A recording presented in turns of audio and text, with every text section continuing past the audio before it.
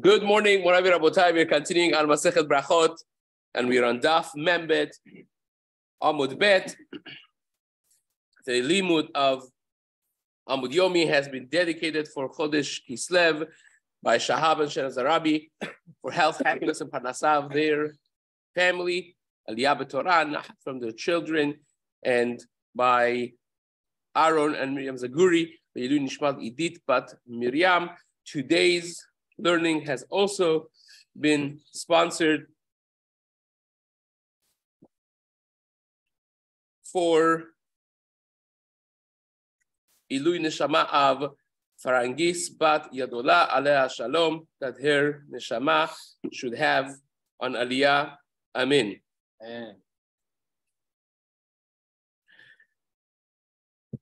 Now we are on Membet Amud Bet, 13 lines from the top. We have the contrast of two stories about Rava and Abaye and their drinking habits, which actually would make a difference in the halachot of brachot.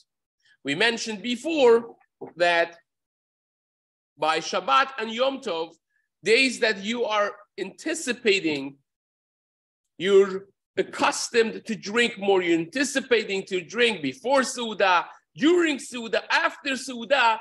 When you make the bracha on wine before Suda, that bracha covers also the wine after Suda. But the Gemara said that's only on Shabbat and Yom Tov. On a regular Tuesday, if you drink, if you happen to drink before Suda, it doesn't necessarily cover the wine after Suda because who knows if you got gonna drink. That was not the regular norm that during the week you're having cups and cups of wine. So says the Gemara, Rabba bar Mari, Ikla Rava. Rabba bar Mari was visiting Rava, Bechol, regular Tuesday, regular day, weekday.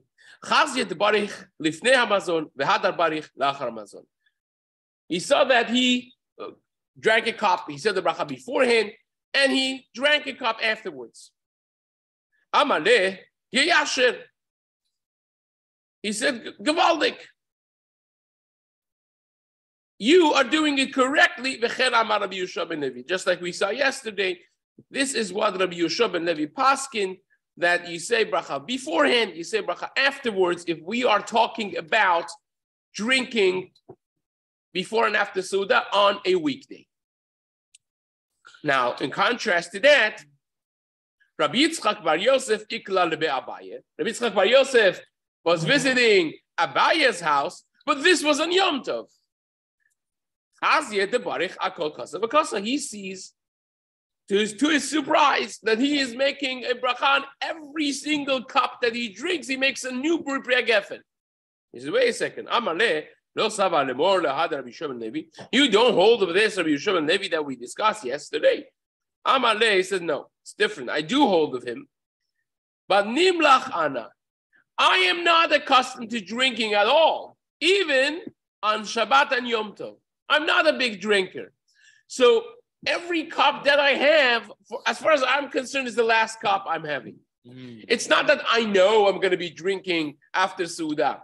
So therefore, even after Suda, every cup and cup is a new decision that I am making.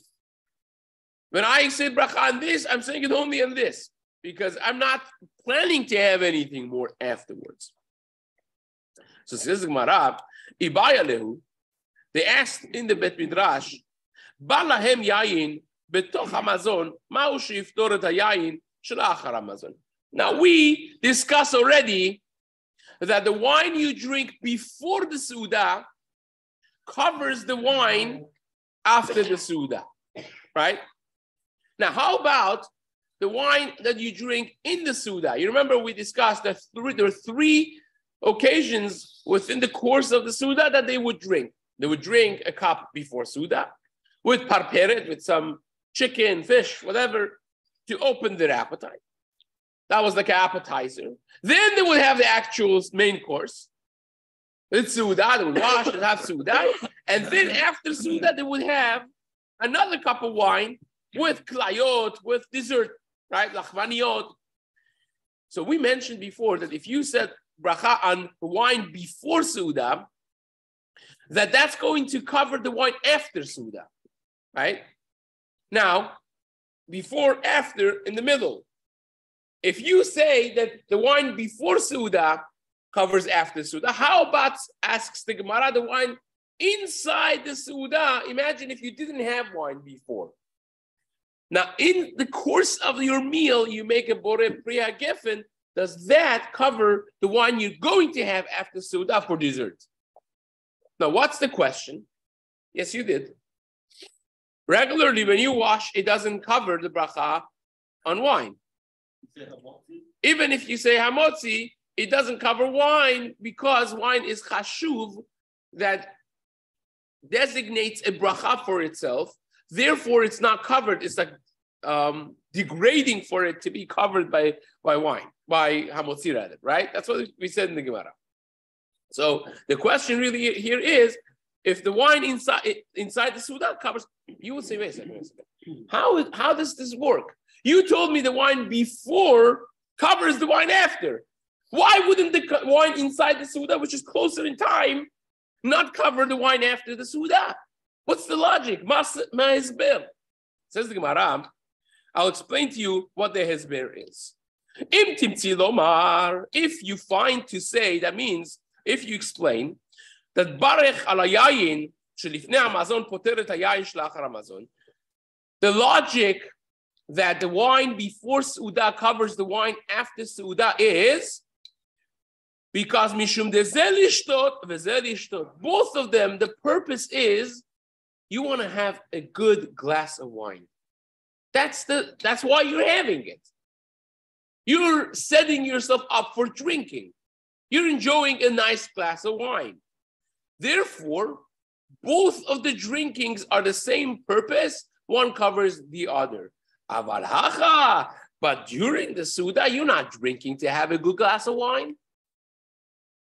You're drinking, actually, as, as the medical information has it, and the Rambam says it, drinking together with eating is not a wise idea. You want to drink after you eat not you know to, to, that the food should be swimming in your stomach as you're eating it. So why would they drink not for drinking but rather the wine after suda is for sake of drinking. You want to have a good glass of wine but the wine inside the suda is lishrot lishrot means you want to just push down the food that you're eating it's to assist the, the eating process so it's not really drinking, it's just, uh, you know. So maybe because the two are completely different topics, one should not cover the other one. Or Dilma, or maybe you say there's no difference. Maybe you will tell me, don't split hair. It's a geffen.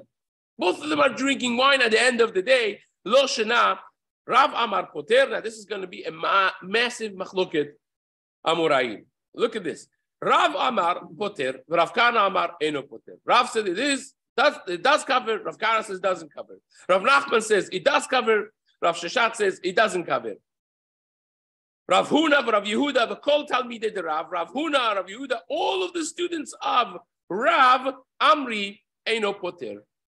They all hold eno poter, and that's the halacha that the Rambam Paskins says the Gemara this that we said Rab Nachman holds, it does cover the wine inside Suda, does cover the wine after Suda, was challenged by Rava. Rava asks Rav Nachman, Balahem yayin betoch Amazon. The Braita says that if you had wine that came inside the Suda, every person and person says the bracha for themselves. Right? This we discussed before. The La'achar Amazon, and then when wine comes after the food. One person says the bracha in agency of everyone. One says it for everyone. So says Rava, wait a second. Amale, meaning he's asking him, if you said the bracha already inside the Suda, why are you making another bracha after the Suda? This is Rava asking Rav Nachman. In other words, Rav Nachman is of the opinion that if you said bracha for a Priya Geffen inside Suda, You're no longer going to need to say another bracha on after the suda in dessert. So Rava says, wait a second, this bracha doesn't, doesn't seem to shtim, doesn't seem to fit your shita because it says if you said bracha, if you bring wine during the course of suda, every individual has to say again for, for themselves. I can't say for everybody. Everyone says it for themselves. But then after suda, one person says it for everyone. So says Rava, wait a second. Why would you say bracha after Suda altogether?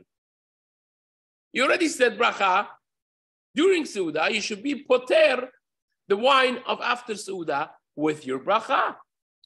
So Rab Nachman says that's not a question at all. this Braita is teaching me halacha. That means conceptually inside Suda, every person says bracha on wine for themselves. Conceptually, after Suda, that means if you didn't bring wine during the course of the meal, if your first time bringing it after the meal, then one person could say the bracha forever. But of course, if you brought wine inside the Suda and everyone said a gefen, then you don't need to say another bracha after the meal. That's his shita. Right? So he understands the Braita to be saying a conceptual halacha. Not that you're talking about the same meal that they brought wine in the middle and they brought wine after, but rather, if you bring wine in the middle of the Suda, everyone needs to say bracha. If you didn't bring wine in the middle of the Suda, you only brought wine after the Suda, then one person can say bracha for everyone, and that's the. Says the Gemara. Hachi We explained it outside, we're reading it inside. Haki kamar. Im Lobalahem Yayin betochamazon. If the wine did not come betoch hamazon, you didn't bring wine during the course of Suda and only brought it after Suda, then then one person says the bracha for everyone. Isn't this uh, what the Mishnah says? Like, what's the? I don't, I don't hop why why they're bringing this. What's the question? Isn't isn't that what the Mishnah already said? Isn't he repeating what the Mishnah says? He's explaining the Mishnah. He, meaning he was asking him from our Mishnah, why is it that the the the um wine after Suda requiring bracha for itself? You already said bracha in the course of the Suda, right?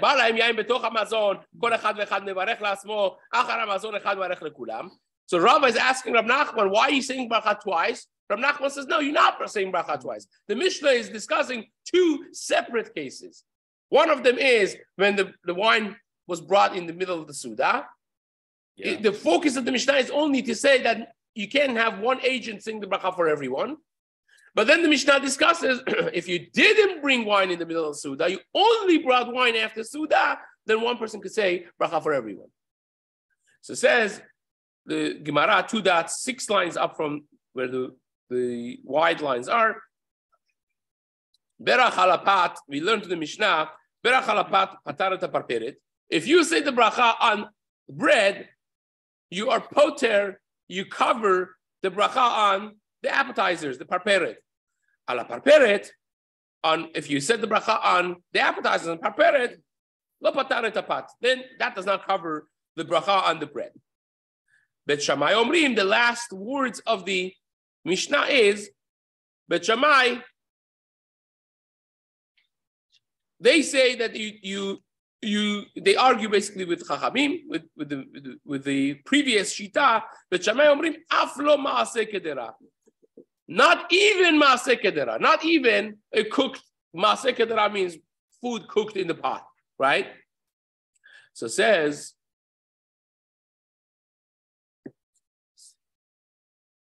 Says the Gemara, Ibaya lehu. Bet Shammai aresha pligi or odil maasefa pligi.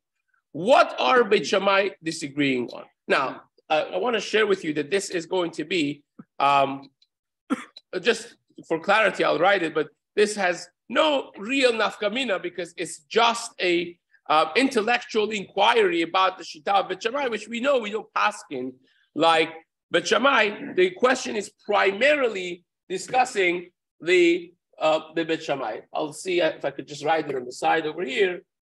Um, so the, there are two parts of this Mishnah that we have. The Part of it first is pat right? That if you say bracha on pat on the bread, it also covers parperet. Here. We should check that means it covers it, right? If you say bracha on pat, it covers parperet. If you say on parperet versus pat, it does not cover, right? That's the simple, um, simple understanding, right? Now, then the Gemara says, Bet Shammai holds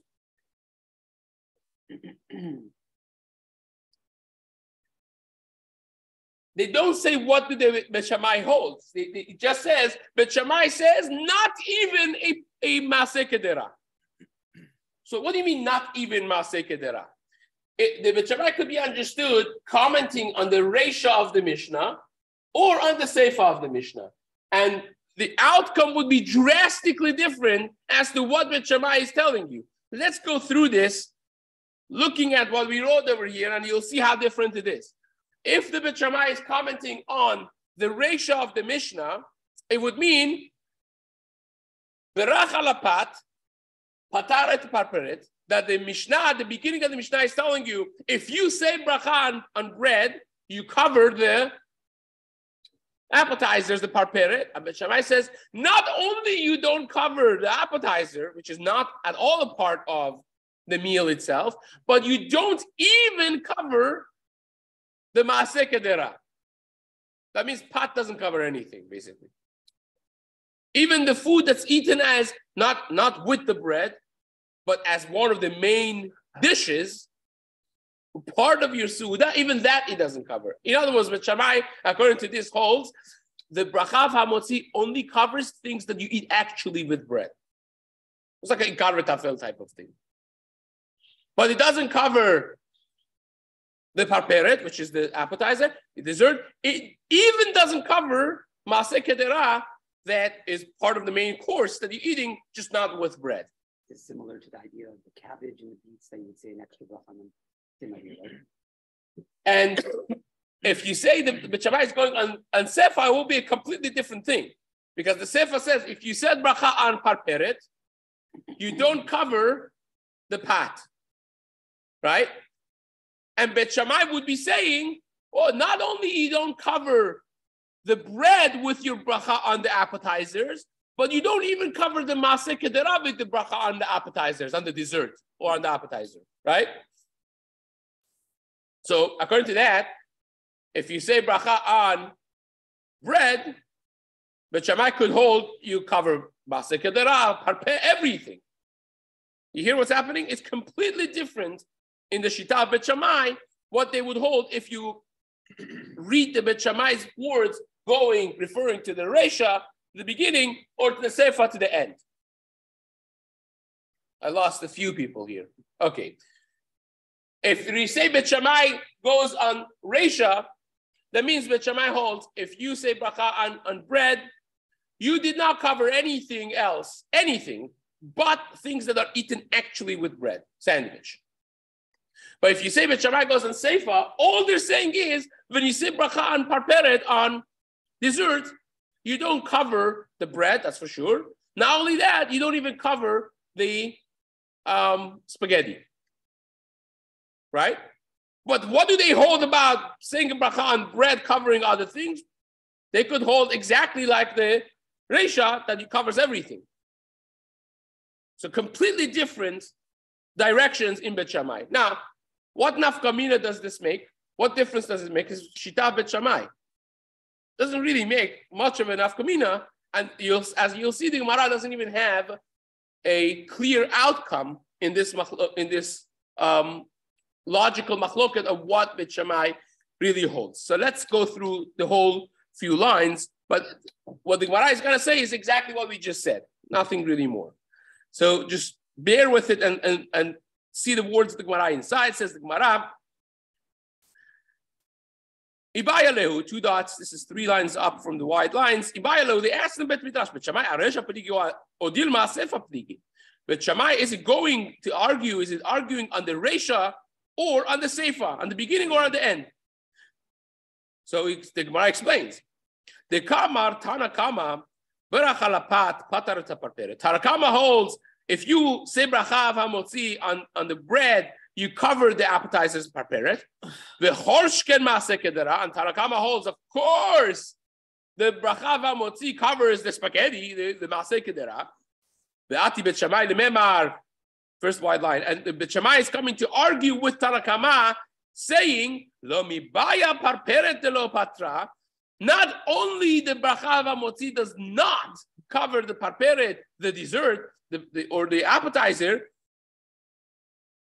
Ella afilu masa patra. Even the spaghetti, even the main dish, which is part of the main suda, but just not eaten with bread, the Bet Shammai argue that it was not poter. It does not cover. Or dilma, or maybe it's not going on resha, it's going on the safe on the end.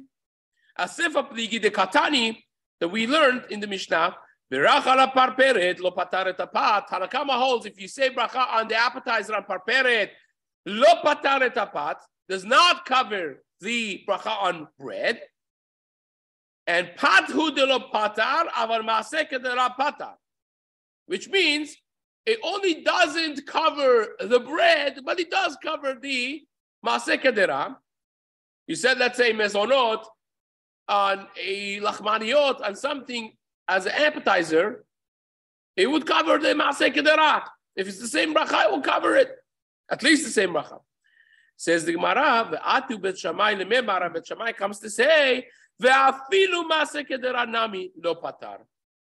It would be coming to say, not only the parperet does not cover the bread, but it also doesn't cover the Maaseh Kederat, which is the spaghetti in, in our example. Which one is it? Is Bet Shammai going on Resha, commenting on this, or commenting on the Seifa? And the Gemara ends up saying Teku. Teku means, we mentioned before many times, Teku stands as, as an abbreviation, as, as a gimat, as, as a Rashi Tevot for Tishbi, Tares, Kushot, Ve'avayot. That Eliyahu Navi is going to, which is called Eliyahu Tishbi, Tishbi is going to answer Kushot, Ve'avayot. You know, in other, words, in other words, we don't know. We don't know until Mashiach comes, which Eliyahu Nabi is going to come three days before Mashiach, and so on and so forth. He is going to clear clear this safek. We don't know. The Gemara leaves it as a question. We don't know if Bet was referencing Resha or Seifa. So says the Gemara. By the way, you know, the, the, it's brought that in the time of Mashiach, halakha is going to be like Bet right? So this really fits actually because in the time of Mashiach, right, right before, Yah Navi is going to clarify what the halacha of Bet is, then um, it will be will be actually halacha Maaseh, which is a topic uh, beyond the scope of this talk. At some point, we'll talk about why would it be that Bet would be halacha, the halacha would change in the time of Mashiach. What does that mean even? Right? The halacha is like Bet Hillel right now to the degree that Bet is not even considered the Mishnah when Bet Hillel is there and then all of a sudden it's going to change in time Mashiach. What is that supposed to mean? That's something that Bezat Hashem at some point we will discuss. Says the Gemara by two dots, four lines down from the wide lines. Hayu Yoshvin, Kol Echad Ve'echad. We mentioned that if they're sitting together, every person says the bracha wine together. One person, you know, one, one person for other people does not work. Every person has to say their own bracha. But if they set themselves up to, to lean and to eat together, then one person says the bracha for, um, for everyone else. Right? That's what we mentioned in the in the Mishnah. The last two lines of Membet Amud Aleph, that's what we said. Hayu kol echad. If they were sitting, everyone says the bracha for themselves. But if they made heseva, if they leaned, set themselves up together, then echad mevarech lekulan. One person says the bracha on behalf of everyone. So says the Gemara, Hesevu in, lo hesevu lo. It's mashma from our Mishnah that merely sitting does not work. you must be mesev, you must be in the reclining position, and then one person could say bracha for everyone else. That's what you see clearly from our Mishnah. The problem is there is a braita. There is a braita that indicates clearly not like this. The braita clearly indicates that even if you are sitting, you could, one person could say bracha for everyone, just sitting around the table. You don't need to recline. Just mere fact, standing is not good enough. Sitting would be good enough. So this is a stira from the from our Mishnah to a Braita. And then the Gemara is going to bring a fascinating story about the funeral of Rav, which hopefully we'll have the time to, to, to read and to discuss today. Says the Gemara, Urminhu, it's problem. Our Mishnah seems to say you need to recline to be able to say one, one person say bracha for everyone. But the Braita seems not like that. What's the Braita? Asara shayu if 10 people are going on a path, right? This is a, a Tosefta in, in Peragay, a brachot. If 10 people are walking on a path, even though that every one of them is eating from the same loaf of bread, you have a massive challah, and everyone is taking pieces from this challah and eating, one person cannot say bracha avamotzi for everyone. Every person must say their own bracha. Is the issue them walking while eating? If they sat to eat, even if they each have their own loaf of bread, one person could say bracha for everyone. So you see here, katani yashvu afar esevu. The Braita, the Tosefta says clearly, yashvu, if they sit together, they could one say bracha for everyone. You don't need to recline; just mere sitting is enough. So now it's a stira. Which one is it? Says the Gemara, Amar Rab Nachman. Rab Nachman answers, Rab Nachman bar Kegon de Amri, Nizil v'nechu lachma beduch plan. The Tosefta, the Braita, is talking about a case that they officially set themselves to eat together. In other words, says Rab Nachman bar Yitzchak, you think this is a magic of sitting versus reclining? No. The core concept is if you guys are set to be eating together, then you're one group. When you have one group, one says the bracha for everyone. But if you happen to be together, you're not set as a group, then everyone has to say their own bracha. So normally speaking, if I'm sitting and eating and then you come and sit, it doesn't mean that we are a group. There's a table, you sit, I sit, everyone sits, and yalla. But if we say, guys, let's go um, hiking and we're going to get to the top and there we're going to sit and eat together breakfast. So we set ourselves up as a group to go to that place and sit and eat. That's a group. That's a group group action. So if we set ourselves up to go to a certain place, even if you're not reclining, you're considered a group. But in a regular setting, you only are considered eating a suda together if you set yourself up. It's not just a temporary thing. I'm quickly eating, eating and running out. Be setting ourselves to a suda, nicely reclining. That's usually considered a group eating. Says Rab Nachman it depends on that. So therefore, the Tosefta that says when you're sitting even, you could say, one person could say bracha for everyone is a scenario in which people set themselves up from before. They said, let's go to this place and sit and eat. That's considered a group. And therefore, one person could say bracha for everyone. Wait, these 10 people who were traveling together didn't know each other. They, are walking. It could be a caravan. It could be anything. It's not, as far as the Su'udah is concerned, there's not a group eating. You're telling me 10 people from 10 different uh, caravans. All no, one caravan but they're not really, they're not, they don't care eating together. As far as the Suda is concerned, it's like imagine a yeshiva, right? This is actually something that happens very much when, when it comes to the halachot of Birkat Hamazon, Zimun, mm. when you have tables in the dining room of a yeshiva or a workplace, and you have lunchtime. So you have lunchtime, 400 people pour in to the dining room and everyone is eating. Do you have table numbers? No. You take the, the pizza, the whatever it is that you're eating, you sit down the first time, the first table that you find, you know, so you know the people maybe a little bit, you do, do know them, don't know them. You don't really care where you're sitting. It's not considered, I want to eat with these people. I want to eat and go back to the Bet Midrash and learn. So that's not setting myself up, even though that I may know them, even though that we're in the same yeshiva. Maybe that's not considered kviut that I'm setting myself to eat with you versus say, ah, this is our table. This is our table every single day. This table is where Reuben, Shimon, Levi, Yehuda sit and eat together. You need invitation to come to this table. So then they're setting themselves, but they're makbit, they want to eat together. That's very different, right? So says the Gemara, Kinach nafsher the Rav, when Rav passed away, so we have spoken a lot about Rav. Rav was his nickname, just like Rebbe was the nickname of Rabbi Yehuda Hanasi. Rav was the nickname of Rav Abba Arichta. The reason he's called Rav, not Rebbe, aside from the fact that it would be very confusing with Rabbi Yehuda Nasi, is because he was in Bavel. He learned by the yeshiva of Rebbe. He was one of the best students of Rabbi Yehuda Nasi, and then he came to, to Bavel. But he was so big that they, when you say Rav, the Stam Rav, the Stam Rabbi, is reference to him. He was the biggest, right?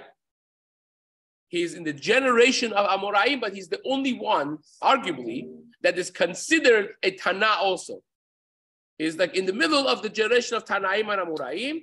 And when the Gemara has his back against the wall, because Mishnah seems to argue, or Braita seems to argue with Rav, and we don't have any explanation, we say, well, not a big problem, because Rav could disagree with the Mishnah. Rav could act as a Tana. That's how big he was. But his colleagues, Shmuel, it's not considered a, a Tana. If you have a kasha from a Mishnah, from a Braita on Shmuel, it's a, it's a, it's a problem. There's one place that Tosafot say Rabbi Yochanan maybe could also be considered a Tana. These are all again same generation, first generation of Amoraim. All of them are students of Rabbi Nasi, right?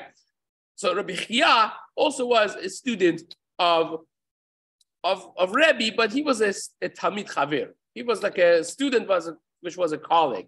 So he is considered Tana. But the actual students of Rebbe, Rebbe was the last generation of Tanaim, basically, and students are all considered Amoraim, but Rav is uh, a Yotze Dofan, an exception in many ways. He lived a very, very, very long, unusually long life. The Gemara says Rav was Mishpachat Abrimi. He had an extremely healthy genes, and he lived an extremely, extremely unusually long life. And now here is when finally he passed away. when he finally passed away, Azlu Talmidah Batre. Of course, all the students went after the Aaron, after the coffin, in the in the in the precision of his funeral. And when they buried him and they're coming back from the funeral, Kihadri, when they're coming back, Amri Nizul Venuchulachma Anahar Dank. Let us go and break bread to eat Suda by the river Danak. So Bata the Karichi, after they sat there, they went there, they sat there, Yatzvi Bekami Bayalehu. They had this bracha, they, they had this, this question. Is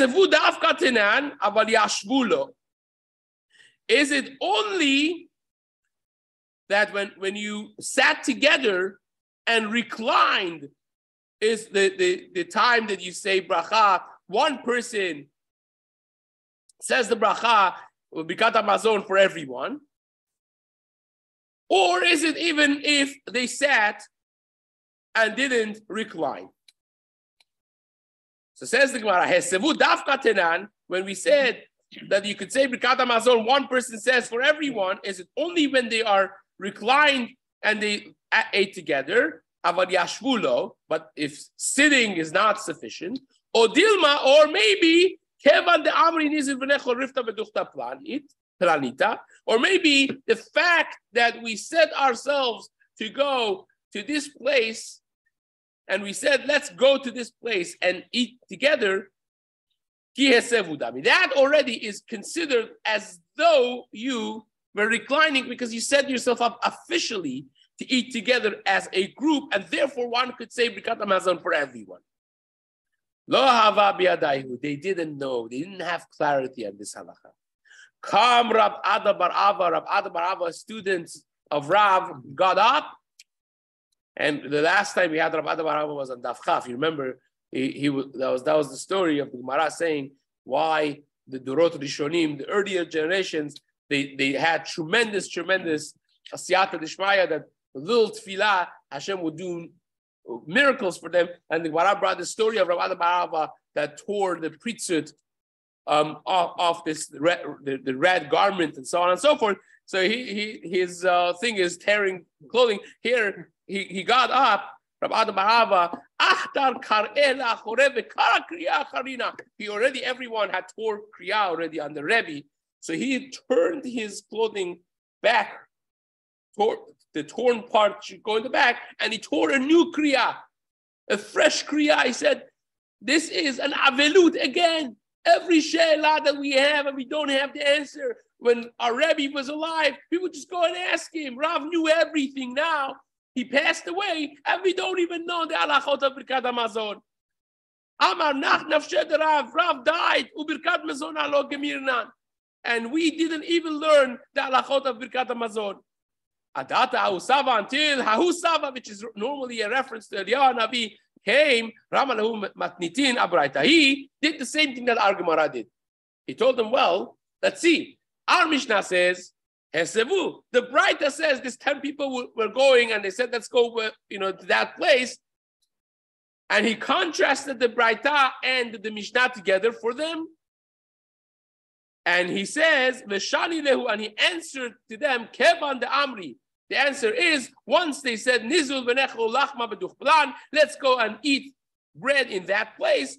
It's considered kehesevu dami. It's tenth amount to setting yourself up to eat together, like a heseva with reclining. And therefore, he told them basically, you could be considered as one group, even though that you didn't recline. And one person could say, Birkat Hamazon for everyone. Bezat Hashem will continue this in the days to come.